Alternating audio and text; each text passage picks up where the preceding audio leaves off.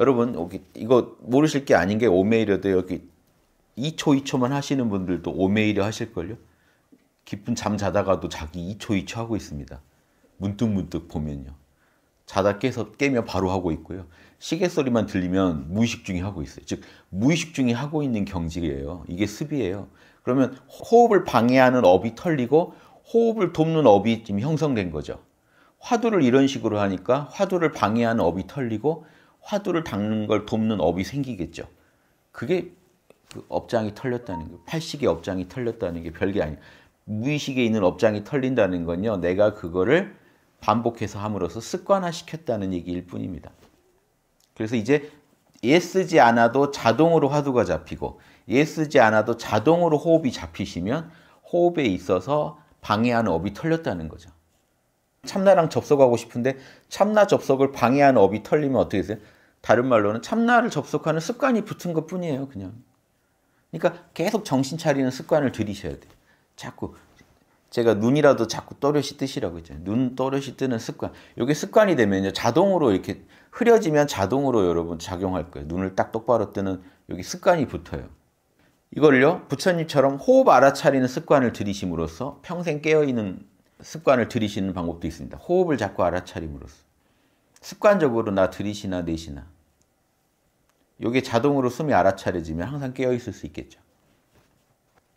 부처님께서 권했던 방식이니까 호흡 알아차리기는 제가 강조해 드리고요.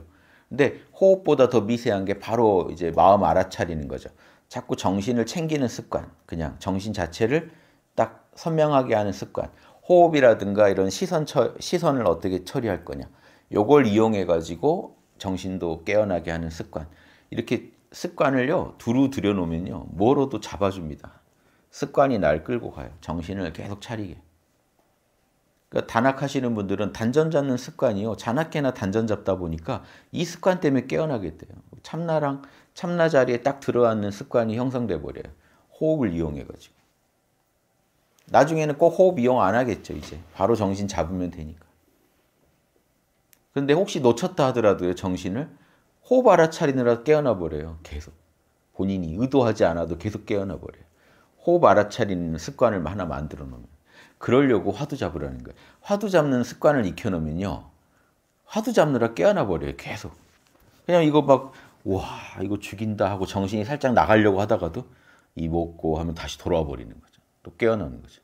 이거 보고 와 하는 이놈은 누군가 하는 이목구는 이거거든요. 어, 맛있는 걸 보고 정신이 또 나가요. 와, 랍스터다 하다가 랍스터를 보고 와 하는 이놈은 누구인가 이목고 하면 다시 돌아와 버려요. 이걸 화두를 습관화해 놓는다는 건요. 자나깨나 계속 깨어 있고 싶다는 거예요. 화두에 집착하시면 안 돼요. 화두를 이용해서 뭘 하시려는 거죠? 깨어 있겠다는 거.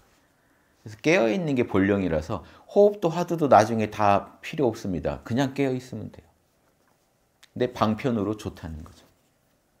기독교인 같으면 아버지 할 때 깨어납니다. 왜냐면요, 보세요. 세상사 막 오늘 막 실현당했어, 돈 잃었어, 막 하던 일 망쳐서 시험 떨어져서 죽겠을 때도 아무리 사바세계에서 힘들어도 하느님 하면서 기도할 때만큼은 딴 거 놔야 되는 거 아니에요? 놓고 아버지 해야 되는 거 아니에요? 그때 깨어나요, 사람은. 아버지. 할 때 내 모든 근심 걱정을요, 아버지한테 맡긴다고 말할 수도 있고, 몰라 해버리고, 아버지한테만 집중합니다. 그래서 기도를 계속 드리는 게 깨어있는 방법이에요. 아무리 힘들어도 아버지 할 때 내 근심 걱정을 아버지한테 이 뭐 막 미주알 고주알 하고 있을 수 없잖아요. 아버지 할 때는 아버지한테 집중해 줘야 되잖아요. 아버지. 그래서 자꾸 수시로 아버지 아버지 하는 게 깨어 있는 이게 습이된 사람은 기독교인은 평생 아버지 아버지 하니까 얼마나 습이 되겠어요. 그러니까 아무리 죽겠는 중에도 아버지 할 때는 깨어나 버린다니까요. 아버지. 아버지 할 때 아버지만 바라보면 되니까. 아버지만 생각하면 되니까. 그러니까 정 힘들면 이제 아버지한테 말해도 돼요. 아버지 딱 죽겠습니다. 해도 이제 이게 이게 좀 정화돼요. 왜냐면 아버지한테 하소연하는 건 또 달라져요. 이 세속일에 빠져 있는 거랑은 다르잖아요. 아버지를 부르고 아버지 앞에서 이제 얘기하면 좀 달라요. 아버지. 미주알 고주알 해도 돼요. 그때는 아버지가 51% 이상 느껴지면 아버지. 그럼 오히려 이제 에고도 아버지 앞에서 위안 얻는 방편도 돼요.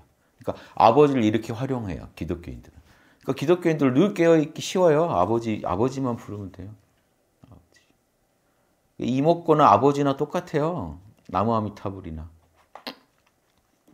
힘들 때 써보세요. 아버지 할 때는 아버지만 해보세요. 지금 이 순간 아버지만 불러보세요. 지금 이 순간. 과거 말고, 미래 말고. 지금 이 순간 아버지 하면 바로 깨어나는 거죠. 여기서 아버지라는 건 심신작용의 근원이죠. 이 천지 만물의 근원이죠.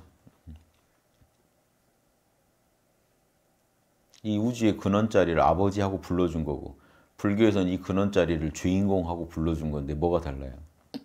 우주의 주인공이 아버지지. 우주의 뿌리니까 아버지라고 하는 거죠. 어머니라고 해도 되죠. 뿌리니까. 날 낳아주셨으니 어머니 해도 되고. 나의 근원이다 해서 뿌리다 해서 아버지 해도 되고. 그때 깨어난다는 거죠. 그래서 이렇게 깨어 있으면 이게 이미 부처고요. 하느님 하느님 자리고 부처 자리예요. 이걸 수시로 쓰셔가지고 내 안에 있는 육바라밀 양심의 기본값을 계속 일깨우시면서 사시면 좋겠습니다.